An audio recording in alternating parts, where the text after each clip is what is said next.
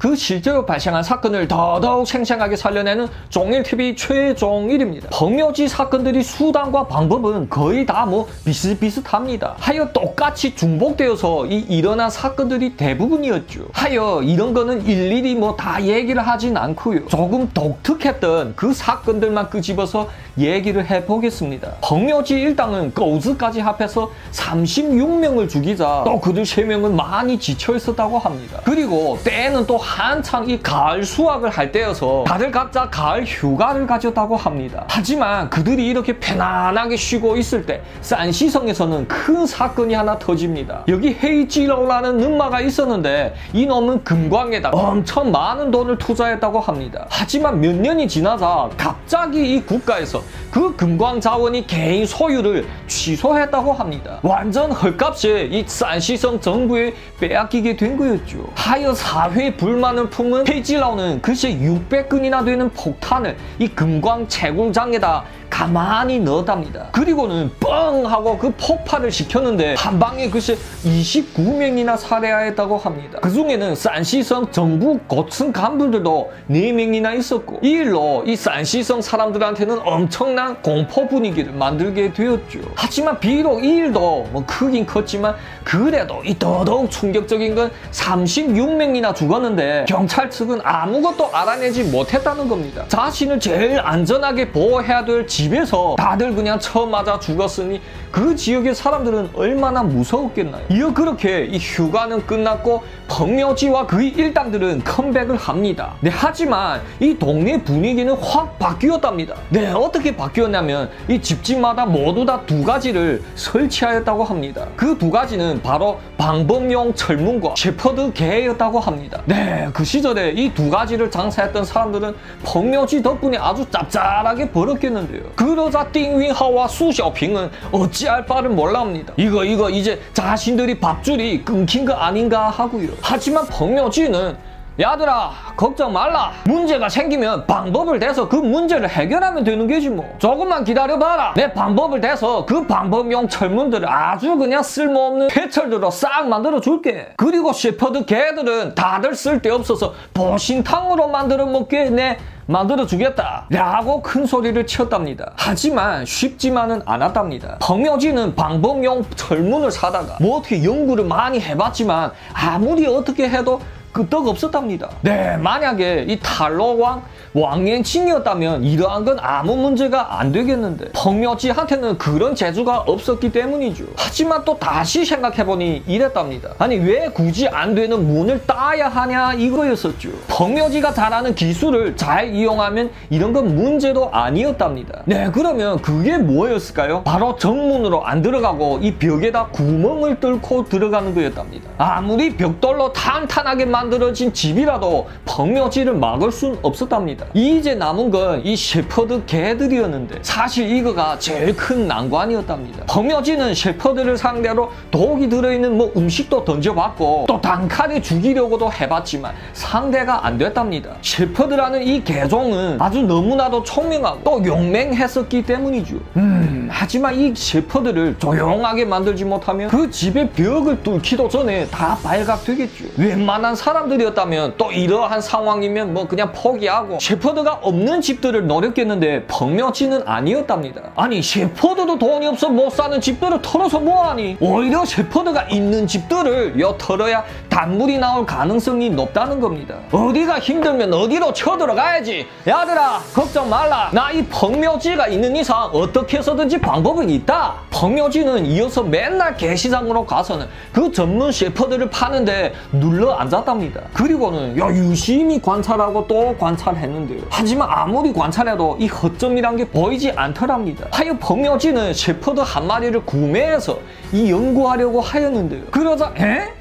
그 눈썰미가 까근했던 펑묘지는 한 가지를 발견하게 됩니다. 그것은 바로 그렇게 사납고 험했던 셰퍼드가 그의 앞에서 돈을 주고 이 끈을 잡아 끌자 그 셰퍼드는 조용해지는 거랍니다. 이어 펑묘지는 대뜸 다시 환불을 하고는 몇몇 다른 셰퍼드한테도 똑같이 실험해 봤답니다. 그러자 그러자 말입니다. 개시장에서 팔리고 있었던 셰퍼드들은 다 똑같았답니다. 사실 나중에 경찰들이 조사해 보니까 이 이것은 많은 딜러들도 모르고 있었던 사실이랍니다. 하지만 단 한 가지 조건은 이 팔렸던 개여야만 한다는 겁니다. 만약 한 집에서 태어났고 한 번이라도 팔린 적이 없는 그런 셰퍼들은 이런 특성이 없답니다. 하지만 이 산시성 사람들은 다들 최근에 이 생명의 위협을 느껴서 다들 구매해 온 거였기에 이런 특성이 있었겠죠. 오케이!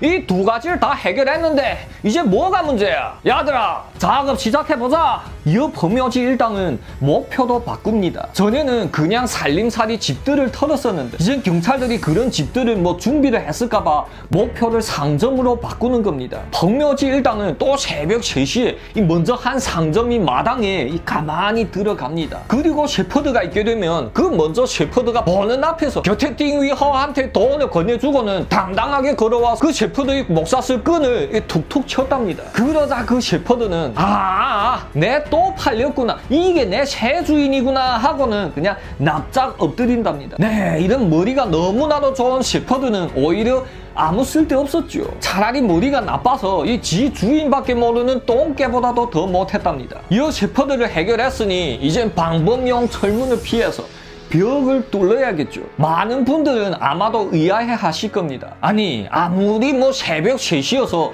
푹 잘 때여도 어떻게 그 벽을 뚫는데 모를 수 있냐고요. 하지만 그게 바로 평묘지 묘한 구석이었답니다. 매번 평묘지가 이 벽을 뚫어대면 띵윙하와 수셔핑은 엄지손가락을 척 내밀었다고 합니다. 역시 두목은 두목이었죠. 평묘지는 그렇게 집 안으로 들어가서는 침대 위에서 자고 있었던 세 식구의 목 숨을 다 끊어 놓았다고 합니다. 그리고는 또 당당하게 그 집에 남은 재료들로 이 요리를 촥 볶아서 또 그 시체들 곁에서 이 배에 불린 먹은 뒤에야 떠났다고 합니다. 물론 또 그 사이에 뒤져낸 몇백 위엔이 돈과 또 담배 몇 보루도 척 챙기고요. 이런 상점은 많지 않아서 뭐 하루에 몇 집씩 털기는 힘들었지만 다들 상점마다 그 현금은 다들 두둑이 있어서 좋았답니다. 이렇게 똑같은 수법으로 몇 군데의 상점을 아주 그냥 무난하게 털고 털다가 또 드디어 임자를 만나게 되었답니다. 사실 이 사건은 모든 사건들 중에서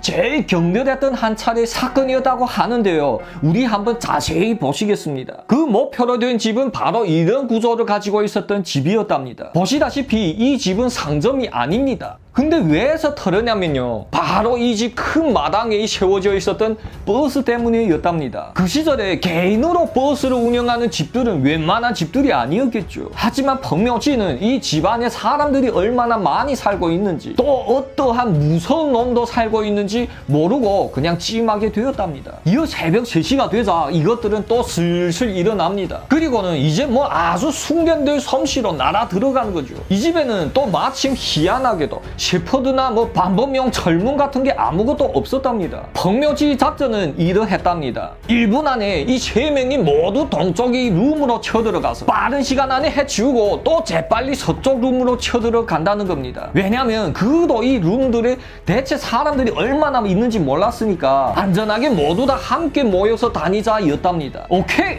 이어 작전대로 먼저 혼자 떨어진 그 동쪽 방으로 쳐들어갑니다. 뭐 뭐야 니들 여기서 뭐 하는 거야 이 집 남자 주인 왕지엔호이가 이 박차고 일어나 반항해 보려 하지만 바로 띵윈허한테 몽둥이를 맞습니다. 하지만 왕지엔호이는 그 띵윈허의 다리를 꽉 잡고는 죽어라 놓지를 않았답니다. 이어 보다 못한 수셔핑이 척 나서서 왕지엔호이한테 다가갔는데 에? 갑자기 이 곁에 있던 왕지엔호의 와이프인 수시핑이 수셔핑이 다리를 꽉 잡았고 또 이빨로 꽉 물어넣기까지 하였답니다. 그러자 수셔핑이 비명소리에 이 왕지엔호의 부부의 고함소리 아주 그냥 난장판이 되었죠. 에헤 그 가지가지 한데 이 보다 못한 펑묘지가 돼지 칼을 들고 나섰는데 에미야 그 무슨 일이야 라고 이 서쪽이 집에서 울려 퍼졌답니다. 하, 이때쯤이면 이미 저쪽에도 쳐들어가야 되는데 니네 지금 뭐 뭐하니 어? 빨리빨리 해결하고 건너오라. 내 먼저 쳐들어갈게. 펑묘지는 돼지잡이 칼을 어깨에 척 메고 흔들흔들 거리면서 이 서쪽의 집으로 향합니다. 이 서쪽 집에는 할아버지 왕진천 가족이 살고 있었는데요 할머니 쪼마일링이 먼저 마당으로 나왔답니다. 그러자 그걸 본 펑묘지는 단칼에 끝내버리죠 자자 또 오나야 이 기시에 등등하게 이 쳐들어가는 펑묘지한테는 또 한 사람이 덮쳐들었답니다 네 그것은 바로 왕징청 할아버지였답니다. 펑묘지는 왕진청을 발로 차 눕히고 자신이 돼지 칼을 높이 높이 쳐들었답니다. 또 한 방에 찍어 보내드리려는 거죠. 하지만 하지만 말입니다. 깍 하는 비명소리와 함께 뭐 박쥐처럼 생긴 게 날아왔답니다. 그리고는 펑묘지를 와락 감싸고 함께 그냥 대굴대굴 넘어가는 거였답니다. 네, 이것은 이 할아버지 큰딸이었던 왕홍샤였는데 할머니가 쓰러지는 걸 보고는 그냥 잽싸게 집에 들어가서 큰 이불을 갖고 나왔답니다. 그리고는 그 이불을 쫙 펴서 벙여지를 향해 그냥 확 덮쳤던 거죠. 그러면 그 효과는 어땠을까요?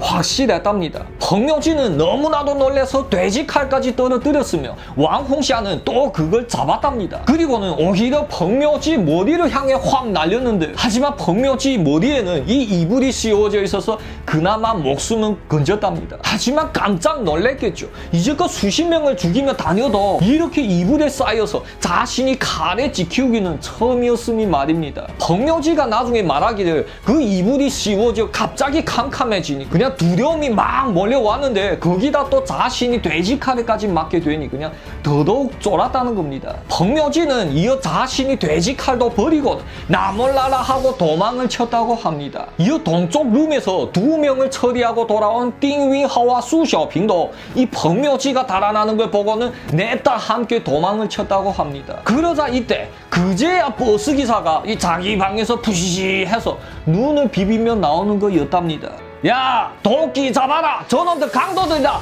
저놈들 잡아라! 이 집 큰딸인 왕홍샤는 지금 펑묘지 돼지잡이 칼을 휘날리면서 그 버스기사를 향해 소리 지르는 거죠. 이 버스기사도 이 옆에 나무 패는 도끼를 들고는 그들 뒤를 쫓아갑니다. 그러자 펑묘지 일당은 더더욱 그냥 혀를 가로물고 도망을 쳤겠죠. 펑묘지 말대로라면 그들 셋은 남쪽으로 70리를 도망치고 나서야 그제야 숨이 차서 멈췄다고 합니다. 네, 이렇게 또 한 차례의 악마들 중에 악마가 평범한 아줌마한테 혼쭐이 난 사건이었답니다. 어떤 분들은 또 헤, 그럴 리가 라고 하시는 분들 계시겠지만 이건 다들 사실입니다. 보통 중국 집안에서는 이 여자들이 엄청 센데 이게 이게 다 이유가 있어서였죠. 결국 그번 사건은 왕지엔호의 주시핑 그리고 쪼마일링 등 3명이 사상자만 내고 나머지는 살았답니다. 이게 다 아줌마 왕홍씨의 활약 덕분이었죠. 위급한 시기에 이 정신 나간 놈들을 제압하는 데는 이불 만큼만 무기가 없답니다.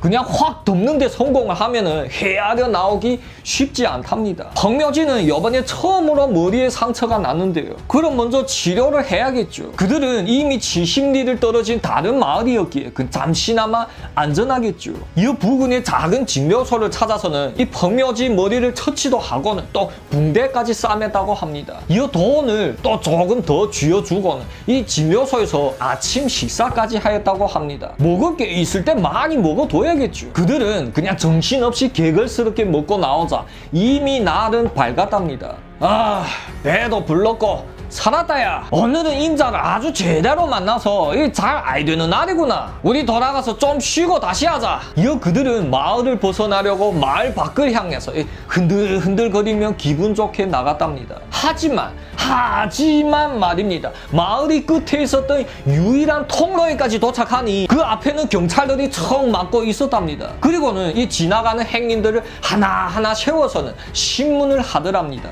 어라? 형님 저기 짭새들이 신문하는데요? 아니면 우리 지금 나가지 말고 이 산속에라도 잠시 동안 숨어 있기쇼. 네 그러자 펑묘지는 당황해 합니다. 어? 아니다 아니다. 지금 우리 못 나가면 우리 무조건 잡힌다. 저놈들 지금 출입구만 봉쇄했죠. 근데 조금 있다 날이 완전 밝아지면은 이 수백 명의 경찰들이 이 작은 마을을 그냥 샅샅이 수색할 거다. 그때 되면 이 날지 못하는 이상 무조건 잡히게 돼 있다. 살겠으면 우리 무조건 지금 나가야 된다. 네 그러면 펑묘지 일당은 그냥 이렇게 허무하게 잡힐까요? 아니면 또 펑묘지가 잘하는 병법을 써서 이 위기를 모면하게 될까요? 다음 회에서 계속하겠습니다 하겠습니다. 재밌게 시청하셨으면 구독과 좋아요 쾅쾅 박아주시고요. 다음 회에 또 짜이지